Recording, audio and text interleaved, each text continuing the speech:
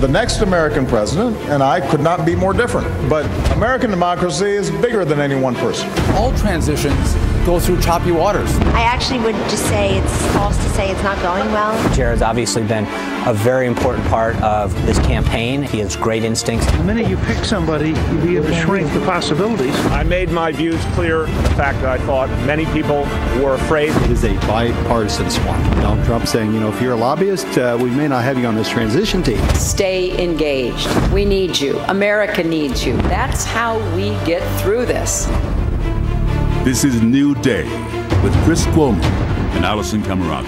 Good morning, everyone. Welcome to your new day. Chris is off this morning. John Berman joins me here. Great to have you. Good to be here. So, they promised to drain the swamp in Washington, and now the Trump team says they are starting to do it. Anyone who has worked as a lobbyist before must show a quote termination of lobbying form while being vetted for a cabinet post. And if you leave the government job, there will be now a five year lobbying ban. This, as we are learning some new information about who may be on the short list for cabinet posts, including some surprising names being considered. Let's go for, first to CNN's Sunlen Serfaty live at Trump Tower here in New York. Good morning, Sunlen.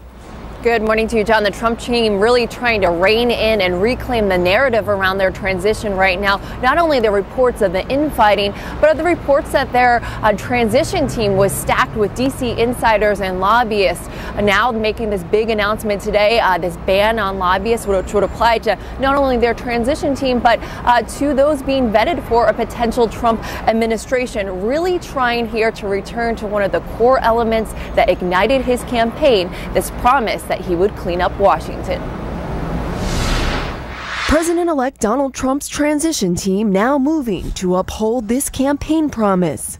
We are going to drain the swamp. Unveiling a new lobbying ban, requiring anyone under consideration for a job in the Trump administration to sign a written pledge to terminate their lobbying. And when they leave office, they will be banned from being a lobbyist for five years. When we talk about draining the swamp, this is one of the first steps. But as they make headway on some aspects of the transition, other parts are still slow moving. Trump's team has not yet contacted the Pentagon, State Department, or other federal agencies to inform them about the transition, with major Washington agencies saying they're still left in the dark. But Trump's team says they're moving forward on this today, readying to announce their so called landing teams made up of transition staff that will deploy and interact with the Department of Justice, State Defense, and National Security, with other agencies to follow. I think we've made tremendous progress in, in giving uh, the president elect some ideas about how to move forward with his core team and, and potential members of his cabinet. Today in Trump Tower, a flurry of meetings lined up for the president elect, including South Carolina Governor Nikki Haley, a former Trump detractor. That's not who we want as president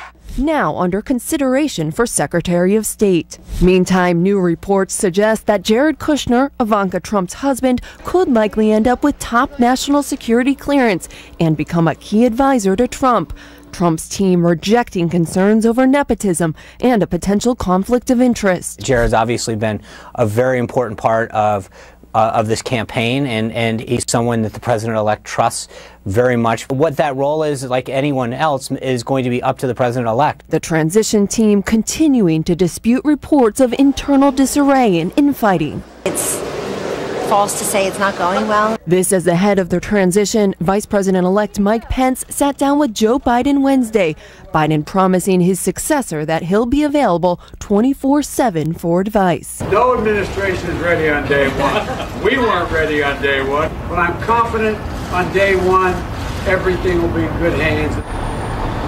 And later today, Donald Trump will be meeting with Japanese Prime Minister Abe here at Trump Tower. And this is notable because this is his very first face to face, in person meeting with a world leader since becoming the president elect. Alisyn?